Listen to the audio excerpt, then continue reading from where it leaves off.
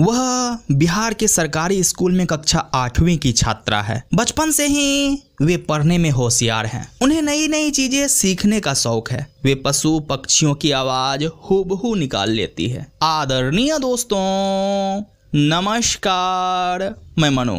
अभी अभी आपने जो जिंदगानी सुना, यह जिंदगानी है एक विद्यार्थी की, जो कोयल की आवाज़ को हूबहू निकाल लेती हैं, जिनका नाम है माया दिवराज।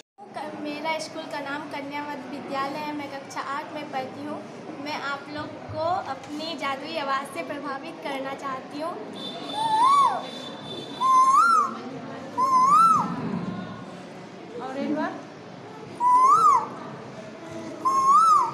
दोस्तों माया जी की असाधारण प्रतिभा को हम दिल से प्रणाम करते हैं और उनके उज्जवल भविष्य की कामना करते हैं।